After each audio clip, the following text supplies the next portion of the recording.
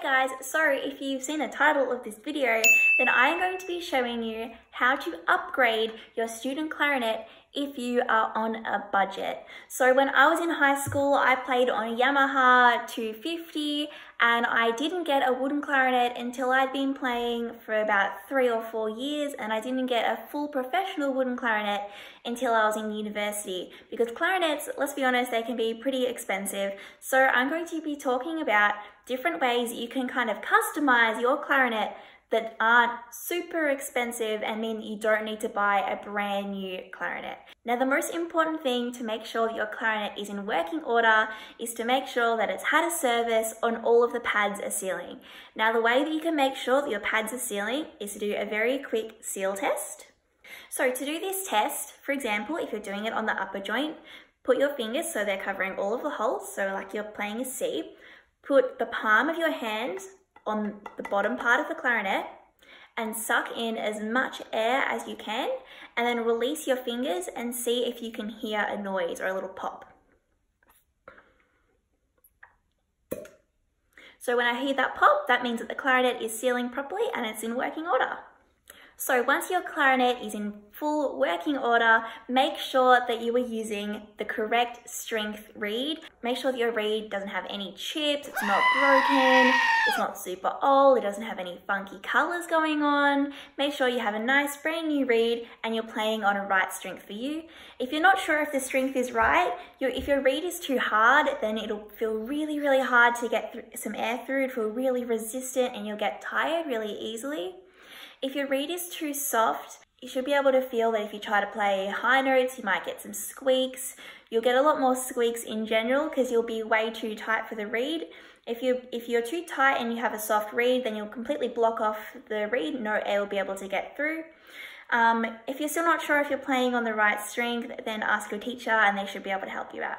So the first thing that you can upgrade that is the least expensive on your clarinet is your ligature. So the ligature that I have on at the moment is just a, the student ligature that I found laying around. It's the only student ligature I have. This ligature has the screws um, on the same side as the reed and you can tell if your screws are on the right side because the screws of the ligature should always be facing your right when you're facing the clarinet as if you're about to play it. Some ligatures are made to have the screws on the other side and some are made to have them on the same side as the reed, but make sure that your screws are facing your right hand side. So to give you a bit of an idea of what the clarinet sounds like with everything being a student model, no upgrades, I'm going to play you a very short excerpt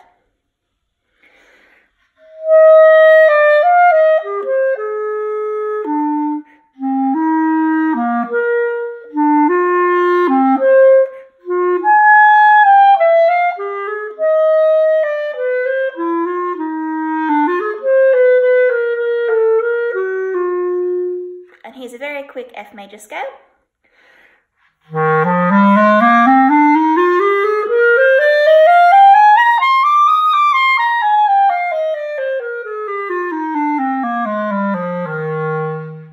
So now I'm going to upgrade my ligature. So as I said before, the ligature can be one of the most inexpensive things that you can upgrade on your clarinet.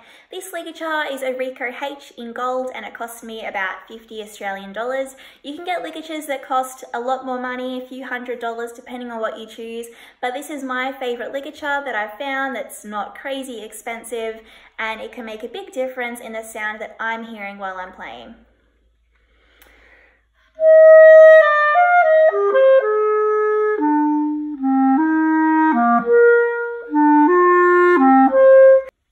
So while the ligature is the most inexpensive thing that you can upgrade, the most important thing that you can upgrade that will make the biggest difference to your sound is your mouthpiece. Now mouthpieces usually cost around $200 Australian. That's with the large majority of all different brands.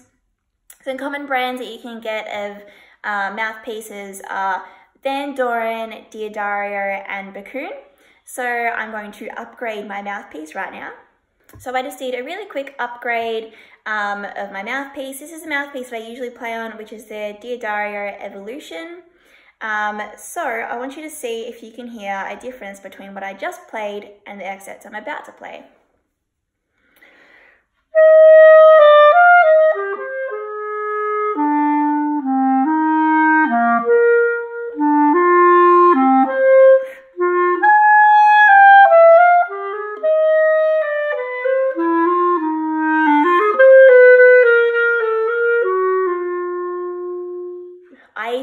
Felt a massive difference when I played that.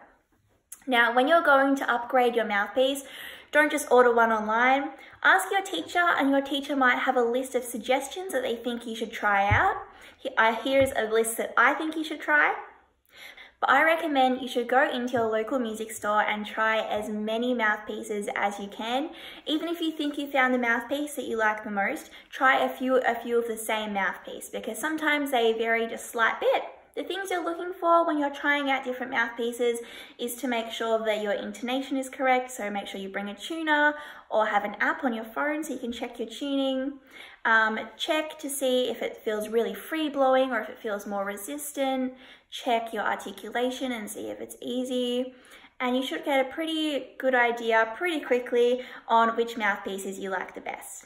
Now, the next most important thing that you can upgrade on your clarinet if you can't afford a brand new clarinet is your barrel. So I'm going to do a very quick barrel upgrade. So this barrel here is the brand new Backun Lumiere in Cocobolo wood and mine is a 66 mil barrel. So if you don't know what the mils mean, on the back of your barrel you should have a little number and it should be in the 60s.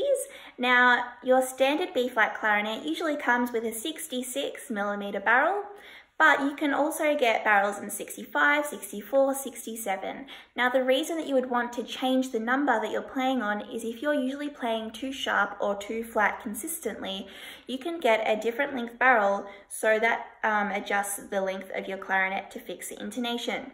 So if I am constantly playing sharp, I might want to get a 67 barrel so my clarinet's a little bit longer and plays less sharp, or if I'm playing really flat, I could get a shorter barrel.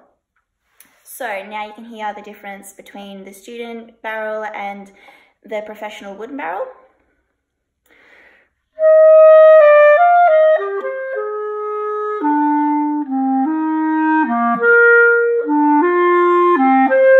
And finally, the next thing that you can upgrade on your clarinet to make it sound closer to a professional clarinet is your bell. Now the bell is the most expensive part to upgrade unfortunately, but if you upgrade it, it can make a big difference to your sound and even the way that you're playing it, you might even be able to feel a difference. So I'm going to upgrade the bell now. Okay, so I just upgraded my clarinet bell to a Backun Moba bell in Cocobolo wood and here is the difference in the sound.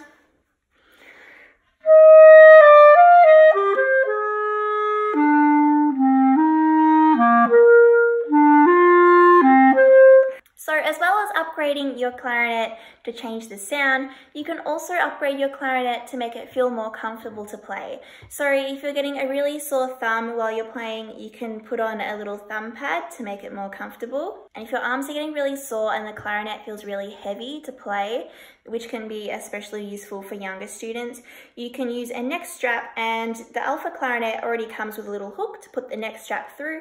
But if you don't have a hook on your clarinet, most neck straps come with a, lit a little piece of leather that you can slide over your thumb rest um, so that you can still use a neck strap. So now I'm going to play some excerpts side by side so you can compare the 100% student model to the one that has the upgrades on it.